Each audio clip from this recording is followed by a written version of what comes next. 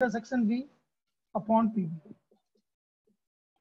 P A intersection B upon P B बस important concept ये है कि पीबी का वैल्यू ज़ीरो नहीं होना चाहिए। This is called conditional probability इसको हम कंडीशनल प्रोबेबिलिटी बोलते ये हमारी कंडीशनल प्रोबेबिलिटी के लिए। P A by B equal to P A intersection B upon P B P B is not equal to zero इसी तरह P B by A P B by A तो ये हो गया P A intersection B upon P A P A intersection B upon P A ये हमारा P B by ए हो गया. तो ये अपन ने लास्ट टाइम पर अपन ने डिस्कस किया था, याद आ रहा हो तो आपको? हमने इतना डिस्कस कर चुके थे, ये कंडीशनल प्रोबेबिलिटी के बारे में हमने ये बात कर ली थी. ठीक है ना? अब इसके आगे की बात अपन कर रहे हैं. कि आगे हम किस तरह से इस पर प्रॉब्लम सोल्व करेंगे, या अगला टॉपिक क्या है वो देखते हैं। उससे पहले देख लेता हूँ, यदि कोई एक प्रॉब्लम बच्चा हो, कुछ भी बच्चा हो तो वो करवाना चलो, एक प्रॉब्लम और कर लेते हैं, वैसे का वैसे, जैसे करवाया था। Next problem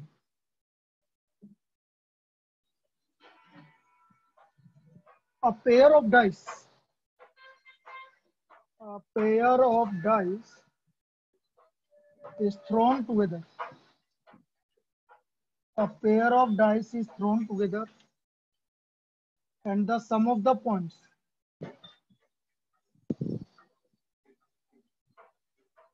Is noted to be is noted to be 8 find the probability that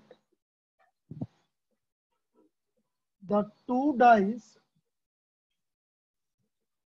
shown at least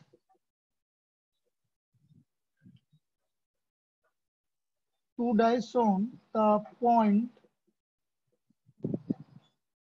four, suppose.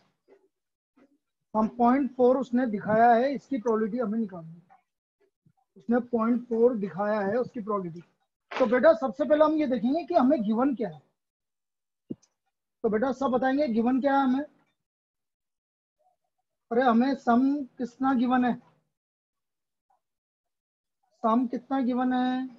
Eight given है। तो बेटा सम एट कितनी बार आएगा, याद करो? सम एट कितनी बार आएगा? पाँच बार आएगा, बिल्कुल सही है। तो सम एट पाँच बार आएगा। तो हमारा ए तो हो गया नंबर फोर और बी हो गया सम एट तो मुझे पी ए बाई भी निकालना है। तो बेटा सम एट आ रहा है पाँच बार। उस सम एट में नंबर फोर। नंबर फोर कितनी बार आ रहा है? पाँच बार में से, एक बार। एक बार आ रहा है। कैसे? देखो सम एट ये आ रहा है। Three five two six, three five, four four, five three, six two. एक बार आ रहा है। तो टोटल पाँच केसेस आ रहे हैं। उसमें एक बार आपका क्या आ रहा है? सम फोर आ रहा है तो मतलब नंबर फोर आ रहा है तो इसकी प्रोबेबिलिटी होगी वन बाय फोर इसकी प्रोबेबिलिटी वन बाय फाइव होगी। इसमें कोई डाउट किसी को? यदि मैं सम नंबर थ्री की बात करता कि नंबर तीन कितनी बार आ रहा है, आप बोलो। यदि मैं यहाँ बोल देता पॉइंट थ्री कितनी बार आ रहा है? अब प्रोबेबिलिटी क्या हो जाती? टू बाय फाइव अब हमारी प्रोबेबिलिटी हो जाती है टू बाय फाइव क्लियर? इसमें कोई डाउट बेटा, ये क्लियर है? ठीक तो इस तरह से हमारी ये प्रॉब्लिटी निकलती है। तो ये था भाई हमारा कंडीशनल प्रॉब्लिटी कंडीशनल प्रॉब्लिटी अब जो मैं नेक्स्ट बताने वाला हूँ, वो सबसे इंपॉर्टेंट पार्ट है बेटा। और वो है आपका independent event next is independent event हम नेक्स्ट बात कर रहे हैं इंडिपेंडेंट इवेंट की, कि इंडिपेंडेंट इवेंट क्या होता है। अब इंडिपेंडेंट इवेंट क्या होता है, पहले उसको अपन डिस्कस कर लेते हैं एक बार कि इंडिपेंडेंट इवेंट क्या होता है। पहले मैं डेफिनेशन लिखवा देता हूँ तुम्हें। तो लिखिए इंडिपेंडेंट इवेंट और फिर मिक्स प्रॉब्लम करेंगे अपन से भाई, अभी तो मैं बताता जा रहा हूँ, इसलिए तुम्हें पता लग रहा है कि ऐसा आएगा ऐसा आएगा। दिक्कत कब आएगी जब बिल्कुल मिक्स बोल दूँगा, मैं कुछ भी नहीं बोलूँगा क्वेश्चन दे दूँगा। तो फिर अपन मिक्स प्रॉब्लम सबकी एक साथ करेंगे। इंडिपेंडेंट इवेंट अब देखो इंडिपेंडेंट इवेंट क्या होता है ये समझो। टू और more events two or more events are said to be independent are said to be independent if occurrence of one does not affect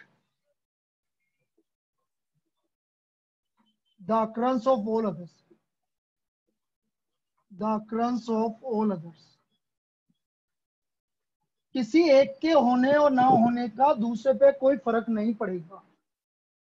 किसी एक के होने या ना होने का दूस, किसी दूसरे पर कोई फ़र्क नहीं पड़ेगा। उसको बोला जाता है इंडिपेंडेंट इवेंट उसको हम इंडिपेंडेंट इवेंट बोलते हैं।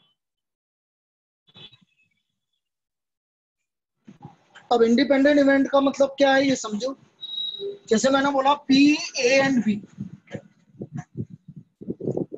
A and and का मतलब मैंने पहले बता चुका हूँ इंटरसेक्शन अब यदि ये दोनों इंडिपेंडेंट इवेंट है तो इसका मतलब आएगा P A into P B यदि ए और बी आपके इंडिपेंडेंट इवेंट है तो बेटा पी ए इंटरसेक्शन बी जो है, वो P A multiplied by P B के इक्वल होगा। वो P A multiplied by P B के इक्वल होगा। यदि ए और बी इंडिपेंडेंट इवेंट है if A and B are independent event, then PA intersection B equal to PA into P. क्यों? पहले ए इवेंट हो रहा है अब बात करी हमने बी इवेंट होने की प्रोबेबिलिटी तो बेटा बी पर ए का फ़र्क पड़ेगा क्या? नहीं फ़र्क पड़ेगा क्योंकि ए और बी कौन से इवेंट है? इंडिपेंडेंट इवेंट है। हम यहाँ बोलेंगे ए एंड बी आर यहाँ पर लिख देंगे because A and B are independent event A and B are independent event. और यदि A और B इंडिपेंडेंट इवेंट है तो B के होने पर A का कोई फ़र्क नहीं पड़ेगा।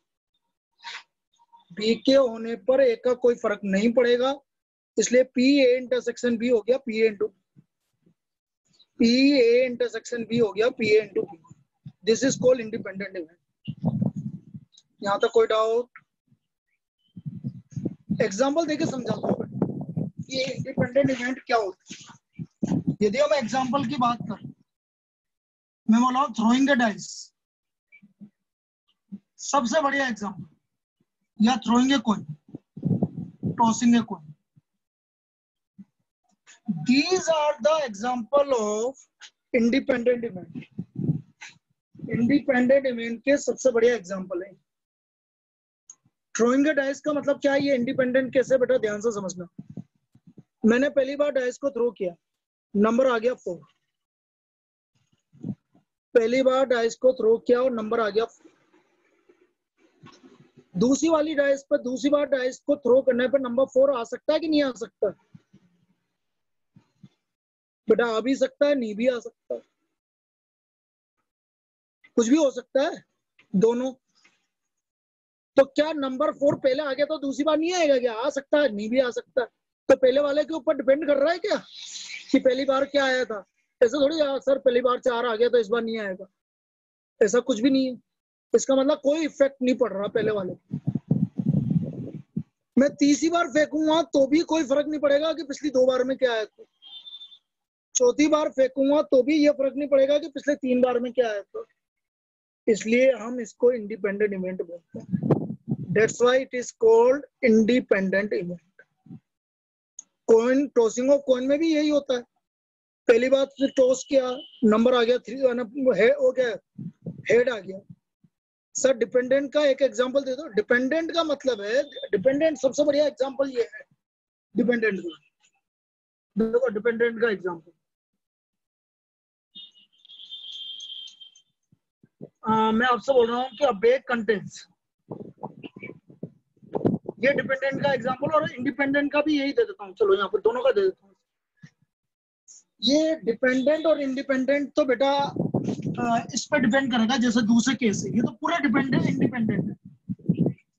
जैसे मैंने आपसे बोल रहा है कि एक बैग ये एक बैग इसके पास पाँच रेड है और तीन व्हाइट मुझे दो बॉल निकालनी है two balls are drawn one by one one by one पहला केस हो गया रिप्लेसमेंट और दूसरा केस हो गया विदाउट रिप्लेसमेंट विदाउट रिप्लेसमेंट दूसरा केस हो गया विदाउट रिप्लेसमेंट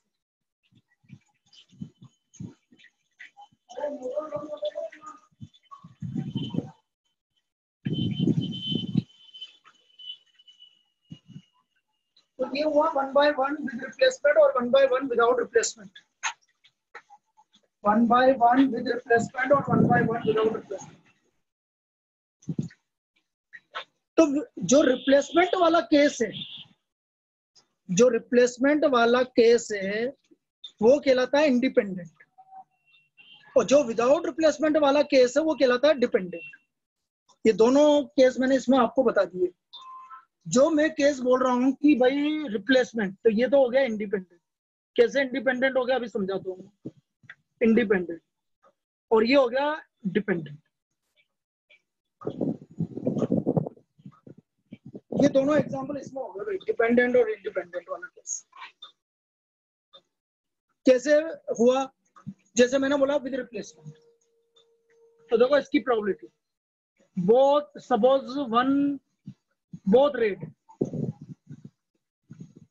पहले वाले केस पहली रेड बॉल आने की क्या प्रोबेबिलिटी होगी बेटा? पहली बॉल रेड आने की क्या प्रोबेबिलिटी होगी? रेड कितनी बॉल है? पाँच और टोटल टोटल कितनी है? आठ। तो प्रोबेबिलिटी क्या होगी? बेटा, पहली रेड बॉल आने की प्रोबेबिलिटी फाइव बाई एट बिल्कुल सही। है अब उसको आपने रिप्लेस कर दिया भाई। उसको वापस डाल दिया। वापस से रेड बॉल निकाली। रेड बॉल आने की प्रोबेबिलिटी बोलो जल्दी। वापस से रेड बॉल आने की प्रोबेबिलिटी फाइव बाई एट बिल्कुल सही। तो ये इसका आंसर आ गया twenty five by sixty four इसका आंसर हमारा आ गया twenty five by sixty four ये तो हो गया भाई विद रिप्लेसमेंट जिसे बोलेंगे इंडिपेंडेंट देखो तो दूसरी रेड बॉल आने पर पहली बॉल रेड बॉल निकाली थी। अपने पहले उसका फ़र्क नहीं पड़ा है, इसलिए इंडिपेंडेंट बोला। क्या पहला केस समझ में आ गया सबको? इंडिपेंडेंट वाला। अब मैं सेकंड केस बोल रहा हूँ बेटा डिपेंडेंट वाला। पहली बॉल रेड बॉल निकाली। बोथ रेड इसमें बोथ रेड पहली रेड बॉल आने की प्रोबेबिलिटी फाइव बाई एट अब आपने रिप्लेस नहीं की तो अंदर बॉल कितनी बची? सात बची और टोटल चार। Very good into four by seven तो बेटा ये आंसर आ गया फाइव बाई फोर्टीन डिपेंडेंट में इसका आंसर आ गया फाइव बाई फोर्टीन ये डिपेंडेंट का आंसर आ गया बेटा आपका. ये केस हमारा डिपेंडेंट आया समझ में?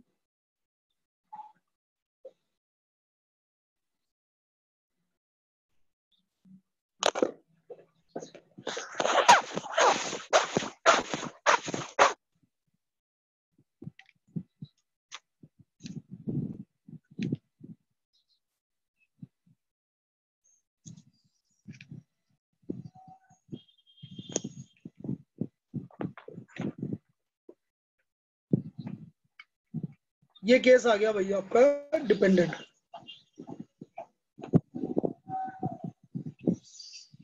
ये दोनों केस समझ में आ गए क्या? डिपेंडेंट और इंडिपेंडेंट में डिफरेंस समझ में आ गया? तो अब हम वापस से हमारे बेसिक प्रॉब्लम पे आते हैं जो आपको बोल रहा था मैं, कि यदि कोई भी दो प्रॉब्लम इंडिपेंडेंट है if A and B are independent if A and B are independent.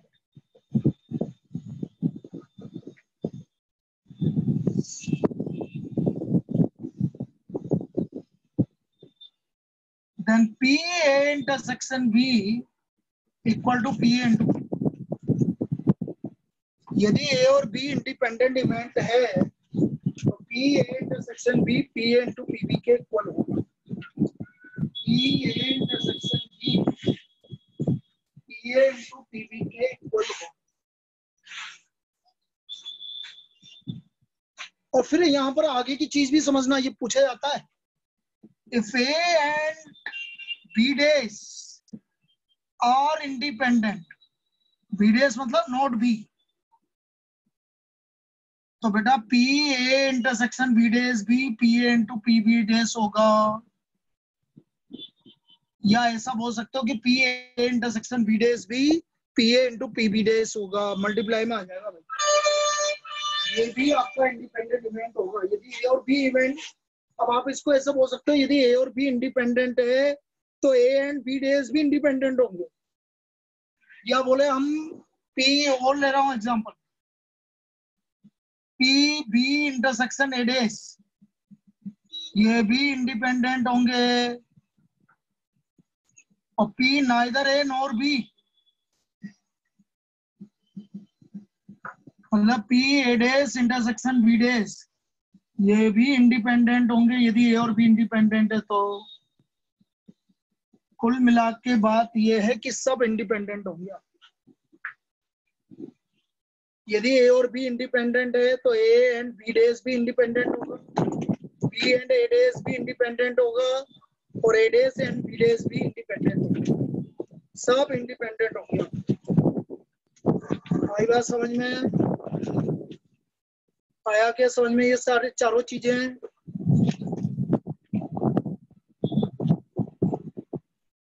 अब देखो प्रॉब्लम कैसे कैसे बनती है, वो समझते हैं। पहले तो मैं बिल्कुल सिंपल प्रॉब्लम्स की बात करता हूँ। आपका डायरेक्ट वैल्यू वाली प्रॉब्लम आ गई। मैं आपसे बोल रहा हूँ कि से एंड एस प्रॉब्लम बन गई। Say and B are independent event say and B are independent event and P A union B equal to five by six and P equal to two by five then find PB तो हमें PB की value निकालनी है। We have to find PB हमें PB की की probability निकालनी है। अब कैसे निकालेंगे बी की प्रोबेबिलिटी ये समझो भाई, आपसे बोला गया है, मैं आपसे बोल रहा हूँ पी ए यूनियन बी की बना। तो हमने बोला P A plus P B minus A intersection B ये तो फॉर्मूला होता है भाई हमारा। होता है कि नहीं होता? P A union B equal to P A plus P B minus P A intersection B ये तो हमारा पी ए यूनियन बी का फॉर्मूला आ गया। अब मैंने ये भी बोल दिया ए और बी इंडिपेंडेंट है। तो बेटा ए और बी यदि इंडिपेंडेंट हैं तो बेटा P A intersection B P A into P B के इक्वल होगा। Because A and B are independent A और बी इंडिपेंडेंट क्योंकि ए और बी इंडिपेंडेंट है, इसलिए तो आपका P A into P B P A P A intersection B P A into P B के इक्वल होगा। यहाँ तो कोई डाउट अब सबकी वैल्यू रख दो भाई, जो जो value given A union B का वैल्यू आपको गिवन है five by six two by five P B minus two by five PB ये five by six minus two by five कर दो। P B minus two by five P B कर दो। एल्सियम ले लो thirty twenty five minus twelve five minus ये three by five P B हो गई। तो यहाँ से आपका आ गया thirteen upon thirty equal to three by five PB तो पीबी का वैल्यू आ गया हमारा थर्टीन बाई एटीन आ गया भाई। PB is equal to thirteen by this is the probability ये हमारी पीबी की प्रोबेबिलिटी आ गई। This is the probability of P PB is equal to thirteen upon eighteen तो जब आपको ए और बी इंडिपेंडेंट इवेंट गिवन है तो आप इस तरह से निकालेंगे जैसे मैंने अभी निकाल के बताया ये मेथड है आपको बी की प्रोबेबिलिटी निकालनी है, जबकि ए और बी इंडिपेंडेंट इवेंट है। बेटा, क्या ये समझ में आया कि जो मैंने बताया कि दोबारा बताऊँ? हाँ? ये फॉर्मूला ऐसे लगेगा बेटा। इस तरह से ये फॉर्मूला आपका लगेगा। जब ए और बी इंडिपेंडेंट इवेंट है।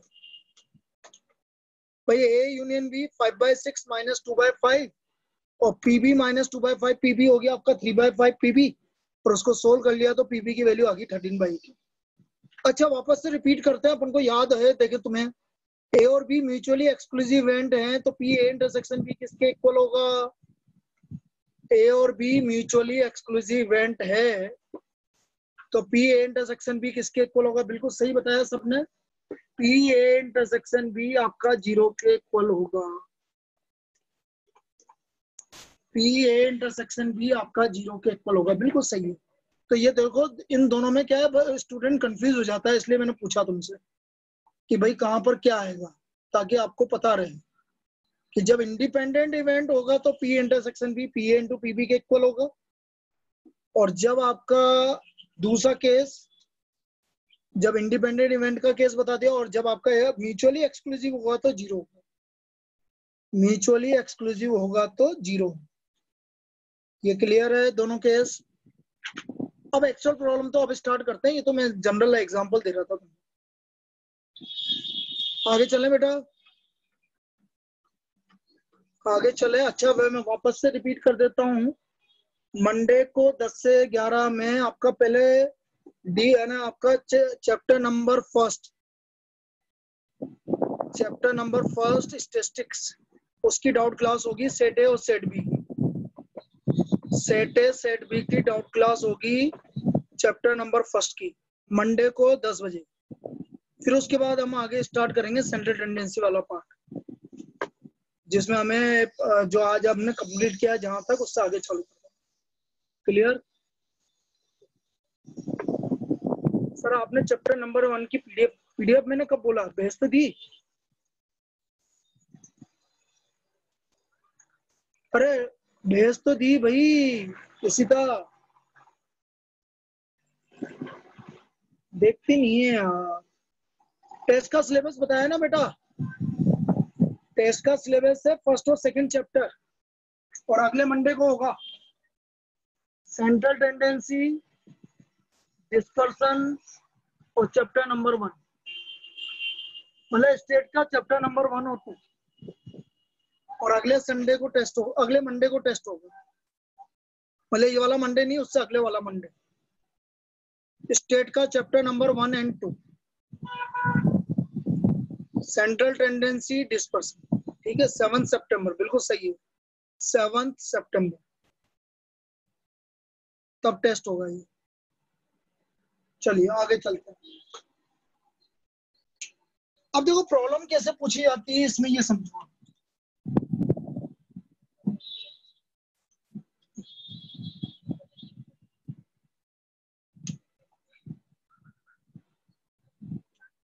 First problem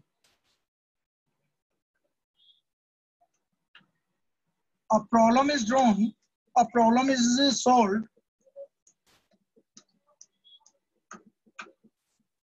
at random by two students.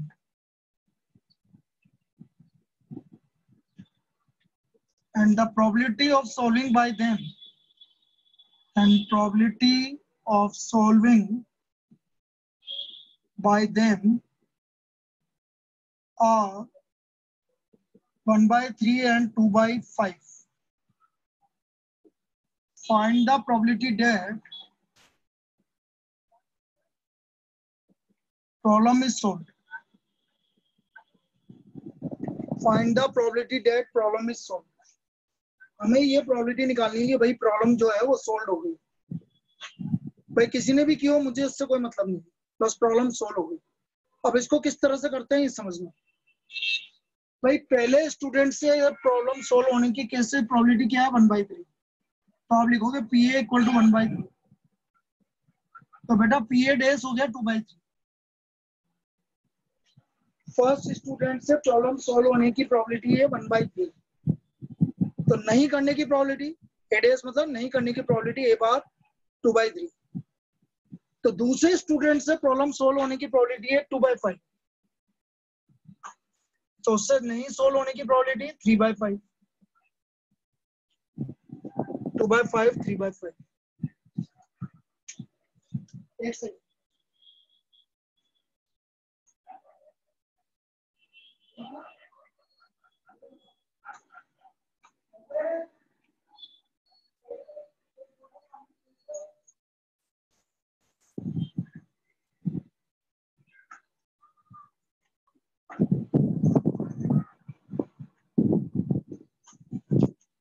चलिए अब आगे देखो इसको, कैसे करेंगे? अब मुझे निकालना है कि problem is solve problem is solve बेटा प्रॉब्लम कब सोल्व होगी समझो। जब कोई भी कर ले प्रॉब्लम कोई भी कर ले मतलब at least one of them solve the problem कोई भी कर ले मतलब एटलीस्ट वन ऑफ़ देम कोई भी कर ले एटलीस्ट तो इसका मतलब प्रॉब्लम इज़ सोल्व मतलब at least one of them solve the problem कोई भी एक कर ले. और बेटा मैं पहले भी बता चुका हूँ एटलीस्ट वन का मतलब होता है one minus P none total probability one में से वो प्रोबेबिलिटी हटा दो जब किसी ने भी नहीं की. वाला केस हटा दो, जब किसी ने भी नहीं की तो कम से कम कोई तो करेगा इसमें अब पी नन। नन का मतलब ना ए ने की, ना बी ने की। तो ये आ गया one minus two by three into three by five. तो one minus two by five तो आंसर आ गया बेटा थ्री बाई फाइव। तो उसकी प्रोबेबिलिटी आ गई आपकी three by five at least one of them solves the problem one minus P none of them solves the problem none का मतलब है P A bar into P B bar P A bar की probability two by three PB bar की probability three by five one minus two by five हो गया three by five इसका मतलब कम से कम एक जना प्रॉब्लम को सोल्व कर रहा है तो वो प्रोबेबिलिटी हो गई आपकी थ्री बाय फाइव हाँ बेटा? तो इसको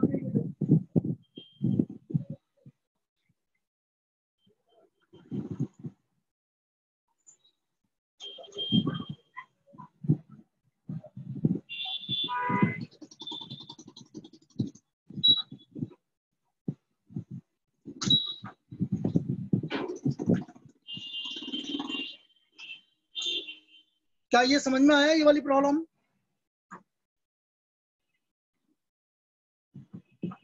सबको क्लियर है? चलो एक करते हैं टाइप की।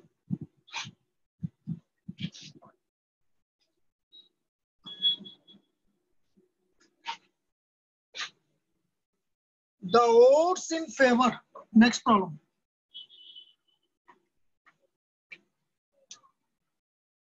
The odds in favor of solving a problem by a of solving a problem by a is 2 raised to 5 and odds in against of solving the same problem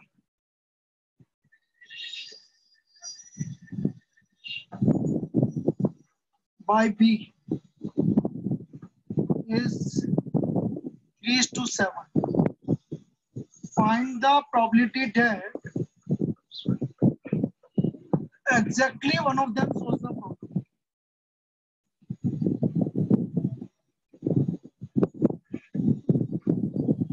Exactly one of them solves the problem. तो हमें ये probability निकालनी है कि केवल एक ने exactly one मतलब केवल एक ने प्रॉब्लम सॉल्व की तो बेटा, पहला वाला है ओड्स इन फेवर तो बेटा, उसकी प्रोबेबिलिटी क्या होगी सोल्व करने की? यदि odds in favour two to five है तो जल्दी बताइए बेटा। Odds in favour two ratio five है तो प्रोबेबिलिटी क्या होगी?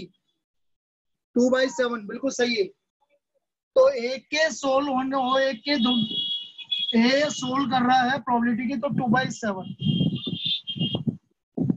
तो ए के टू बाई सेवन है तो ए बार हो गया बेटा फाइव बाई सेवन अच्छा बी से सोल्व करने की प्रोबेबिलिटी क्या होगी? बी से सोल्व करने की प्रोबेबिलिटी क्या होगी? Seven by ten very good तो बी के द्वारा सोल्व नहीं करने की प्रोबेबिलिटी हो गई आपकी three by ten three by ten अब वो बोल रहा है, केवल एक करे एग्जैक्टली एग्जैक्टली का मतलब है कि यदि ए करेगा तो बी नहीं करेगा और बी करेगा तो ए नहीं करेगा। एग्जैक्टली का मतलब ये है। सेवन बाई टेन कैसे मतलब? अरे चिन्ह में भूल गया क्या? थ्री रेशो सेवन और सिन अगेंस्ट है। मतलब तीन तो अगेंस्ट में है और सात फेवर में है। तो प्रोबेबिलिटी होगी सेवन अपॉन टेन आ गया समझ में? आ गया क्या? ठीक है। ना P exactly one P exactly one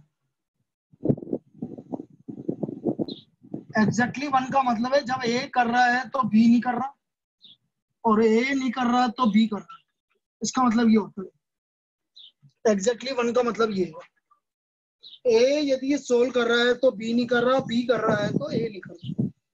तो ए कर रहा है टू बाई सेवन बी नहीं कर रहा थ्री बाई टेन ए नहीं कर रहा पाँच बाई सेवन और बी कर रहा है सेवन बाई टेन ये आ गया आपका six by seventy plus thirty five by seventy इसका मतलब फोर्टी वन बाई सेवेंटी हमारी इसकी प्रोबेबिलिटी आ गई फोर्टी वन अपॉन सेवेंटी आया कि समझ में ये? बेटा, ये प्रॉब्लम क्लियर है? सबको? किसी को डाउट है? चलिए, एक और लेते हैं इसी टाइप की problem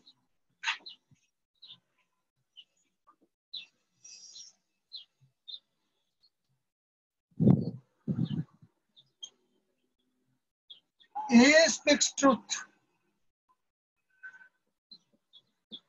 A speaks truth in 70% of the cases.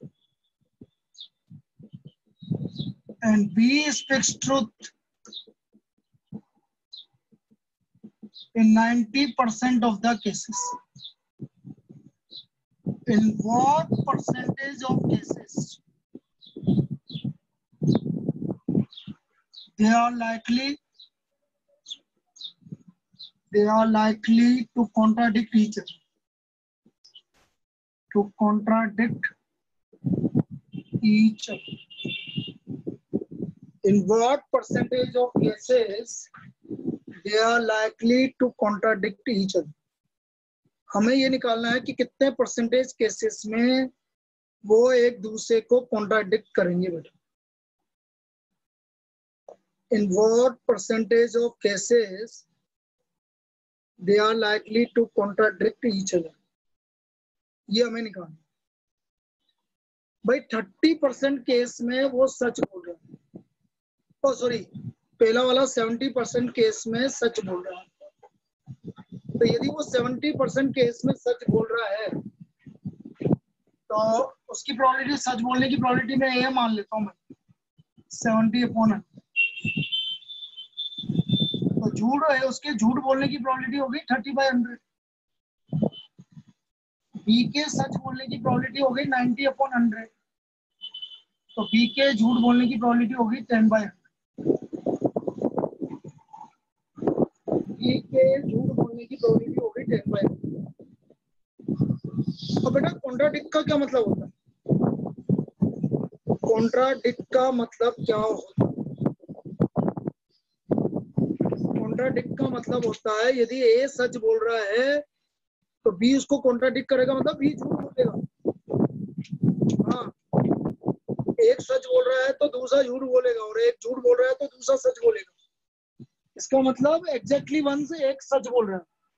तो देखो पी कॉन्ट्राडिक्ट कॉन्ट्राडिक्ट अब कॉन्ट्राडिक्ट क्या होगा? यदि ए सच बोल रहा है तो बी झूठ बोलेगा।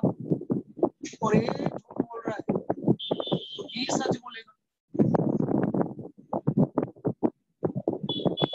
Seven upon hundred plus twenty seven upon hundred thirty four upon hundred इसका मतलब थर्टी फोर परसेंट केस में। थर्टी फोर परसेंट केस में ये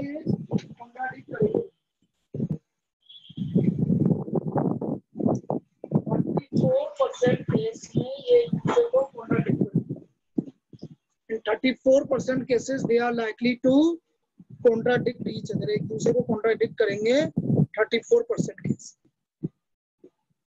आया क्या समझ में ये? क्लियर है?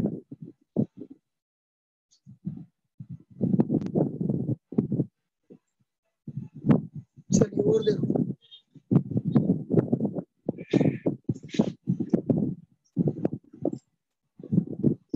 तो ये प्रॉब्लम बेटा, इस तरह की प्रॉब्लम इंडिपेंडेंट इवेंट की ऐसी बनती है प्रॉब्लम इंडिपेंडेंट इवेंट में इस तरह की प्रॉब्लम बनती है।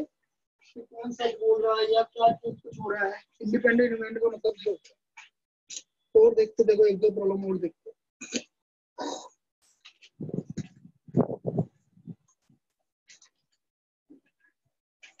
जैसे एक और प्रॉब्लम इसी तरह की।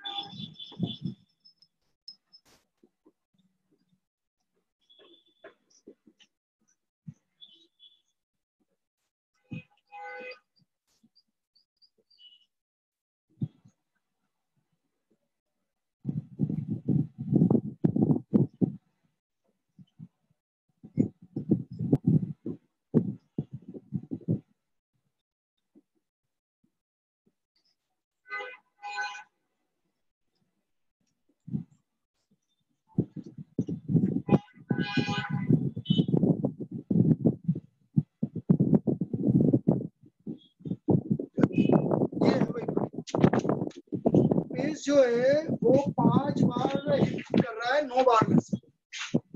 जो डेविड है, वो छह बार हिट कर रहा है, ग्यारह बार में से। तो हमें ये प्रोबेबिलिटी निकालनी है कि भाई टारगेट हिट हो रहा है। मतलब कोई भी टारगेट हिट कर रहा है, बस टारगेट हिट हो गया। तो रुपेश कितनी बार कर रहा है भाई? रुपेश को ये मान लेते हैं भाई। इसकी प्रोबेबिलिटी होगी फाइव बाई नाइन तो उसके नहीं करने की प्रोबेबिलिटी होगी फोर बाय नाइन डेविड की होगी सिक्स बाई इलेवन तो नहीं करने की प्रोबेबिलिटी होगी फाइव बाई इलेवन अभी बोला टारगेट हिट होना चाहिए। टारगेट हिट होने का मतलब है कि कम से कम कोई भी टारगेट को हिट कर दे, कोई भी हिट कर दे बेटा। कोई भी जाके टारगेट को हिट कर तो P at least one at least one hit the target at least one का मतलब है वन माइनस पी नन मतलब दोनों नहीं कर रहे। ये आ गया four by nine multiplied by five by eleven तो ये आ गया हमारा सेवेंटी नाइन बाई नाइनटी इसकी प्रोबेबिलिटी आ गई हमारी सेवेंटी नाइन बाई नाइनटी ये इसकी प्रोबेबिलिटी आ गई। क्लियर अब बेटा यहाँ तक हमारा हो गया, मैं तीन चार बजे जब भी होऊँगा तो अब मैं आज आपको क्या क्या कर सकते हो? इसमें इस चैप्टर में से आपको सेट ए में क्या कर सकते हो सेट बी में क्या कर सकते हो, और इसका सेट सी भी करेंगे इस वाली एक्सरसाइज का सेट सी भी करेंगे। तो सेट सी में क्या क्या कर सकते हो, मैं उसका लिस्ट तुम्हें भेजूँगा। ताकि कल संडे है तो कल आराम से आप उसको करिए तो उसकी लिस्ट मैं आज भेजूँगा। ठीक है ना? ये। तो ये चीज़ है भाई, अपने इसको भेजता हूँ मैं। चलिए। अब अपन मंडे को मिलेंगे, सुबह दस बजे, कि क्या क्या करना और वो मैं उसको बताता हूँ। ठीक है बेटा।